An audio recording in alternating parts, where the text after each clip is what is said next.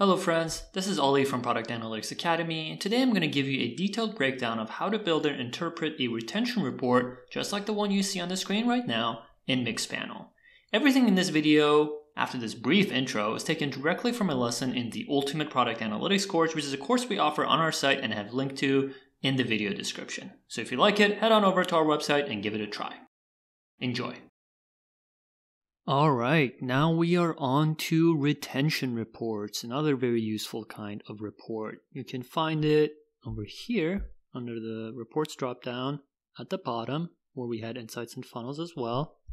And it looks like this when you're on the blank version of it. And we're going to be using the same media project data as before, the demo data that comes with Mixpanel. The retention report is admittedly not used as frequently as insights and funnels, which are generally speaking the two features that are used the most when it comes to reporting. However, retention is very useful in the few use cases that, that you do come across for it.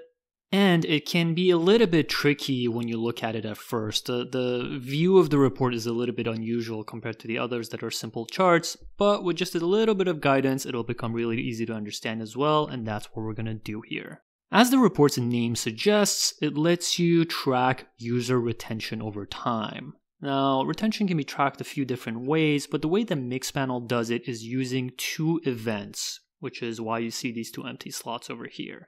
The retention report uses these two events to show you how many people did the first one and then came back to do the second one in subsequent periods of time. Before talking any further about this, let's just create one and see how that looks. In this case, I'm going to use sign up as my first event, and I'm going to use watching a video as the second one. Looks a little bit weird at first.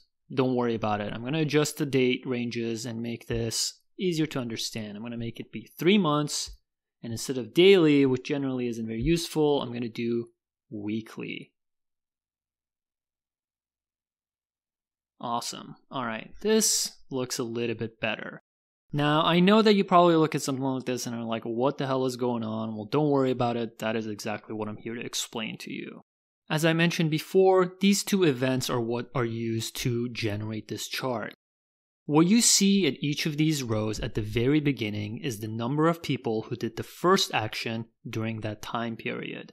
We set this up to be weekly, so this says the week that starts with this date range, we had this many people that signed up. The following week, this many, and so on. So these show you the count of the first event during that period. And then notice how at the top of each column, we had a number of weeks starting out with less than one week and going out.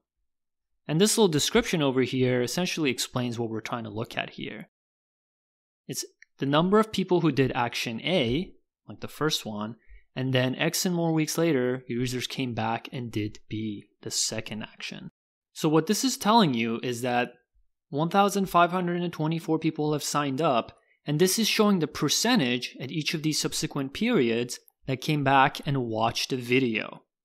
As you would expect, the more time that goes by, fewer and fewer people come back because generally speaking, users churn, and so your retention, the further down the line you look at it, the lower it's going to be. You can compare first week retention among all of these different cohorts going down, or you can pick one individual cohort and look at how its retention changes week by week. Now, there's one really important thing that you have to understand about these, and that is when we say, for example, that 82% showed up under week one for this cohort, that does not mean that 82% of this group came back and watched the video in week one. It means that percent came back and watched a video within week one or a later point in time. Notice what it says here. It says X and more weeks later, the user came back and did action B. This might feel a little bit weird and unintuitive at first, but this is how retention is always measured. For example, when we say that, hey, our product's 30 day retention is 25%, we don't mean how many people came back exactly 30 days after sign up and did something. We mean what percentage of people are still around after 30 days. So they could come back 45 days later, they could come back 80 days later. As long as it's after the 30 day point, they count as a user that has retained at the 30 day mark. And this is what the chart here displays as well. So over here, when we say week three retention, if someone has come back after sign up in this cohort, five weeks after sign up and done something, they still show up as week three retention, but they don't show up under week six retention. So again, this shows you how many people came back and did something at this week or any of the ones after that. Not the ones before, but that week and the ones that come after that. And that's why it says over here X and more weeks later, your users came back and did B. Again, this might feel a little bit weird, but this is how retention is generally calculated. You can change this to mean this is how many people came back and did this exactly this week by coming over here and changing on or after to on, in which case your numbers will look a lot more weird, as you can see here. It's like one week you get a lot, and it drops, goes down. Sometimes it goes up, sometimes it goes down. It's a little bit weird because patterns of behavior can vary a lot from week to week, and it's just harder to get information out of this. In this case, you could just randomly pick one of these weeks where your numbers look good and go, hey, uh, actually, our week two retention was 77.83, but it's like, yeah, just for this cohort, for this cohort, it was way lower. But if you go back and switch it to on or after, which is how it was by default, and where it shows you essentially how many people came back and did something at some point or later, then your numbers become a lot more balanced and a lot more easy to understand. And this is how retention is generally reported. So that's the main tricky thing about retention reports to understand. The first action is what uses the first action is what Mixpanel uses to bucket your users to cohort them. So this shows how many people have done action 1 in this period of time. And then these show how many people came back at different time periods or later and did action 2.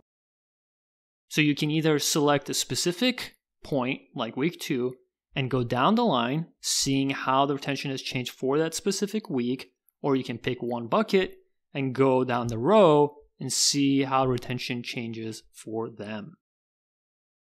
So looking at some examples here, we see that here on February 10th, we have a larger cohort than usual. I think it's, it's the biggest one that we have, maybe second biggest after this. But the retention is lower than the others. That could be because this week there was some sort of promo or something and it brought in a lot of low intent users. And low intent users, while they signed up, they didn't really retain very long term. And that's why we see something like this. The converse of that could be when you have fewer people, it's like, okay, like this is a, week of around New Year's, so people maybe weren't thinking about signing up for a new product. So all the people who came by were high intent, and so they had a pretty good retention going down the line. So you can see how something like this would be very valuable.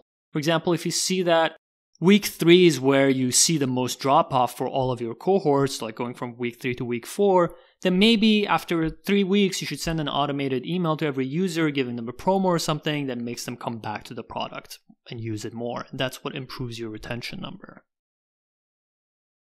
Retention is generally a very, very good indicator of how useful your product is and how much users got value out of it. And that's why investors typically ask about it a lot and something that is shown a lot on the KPI dashboards for a business.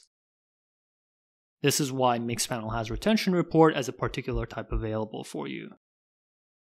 The chart that you see at the top over here is basically just these average retentions, that is, averaging all of these cohorts for each week displayed as one big chart. So if you want to see a summary, you don't want to look at all of these, you just want to see on average how people have retained weekly, just look at that and look at the chart at the top. Another cool note here is that just like the Insights and Funnels report, you can change the date range or you can use filters and breakdowns to compare retention between different groups. For example, here I'm gonna break down by gender. I'm gonna see how retention changes between the genders that I have available and I'm tracking my products.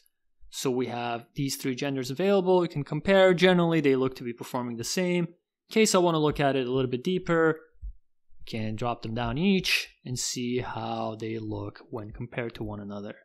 They show up on the chart as well. In this case, because they're pretty much the same, They're just essentially overlapping lines, but you can see how something like this would be very useful if you had a property that did break down your users in a way where they behave differently from one another. And that wraps up retention reports. Like I said, this report is not as useful as insights and funnels typically, like you use it less often, but when you do use it, it does give you some really, really valuable insights. So in most cases, like each product has maybe one or two of retention reports while they have quite a few of the other ones, but those one or two end up being very, very valuable for them. And that's why it's important for you to learn these, just like you learn the rest. And again, just like insights and funnels, you can copy the URL, you can save it to a dashboard. And that covers retention.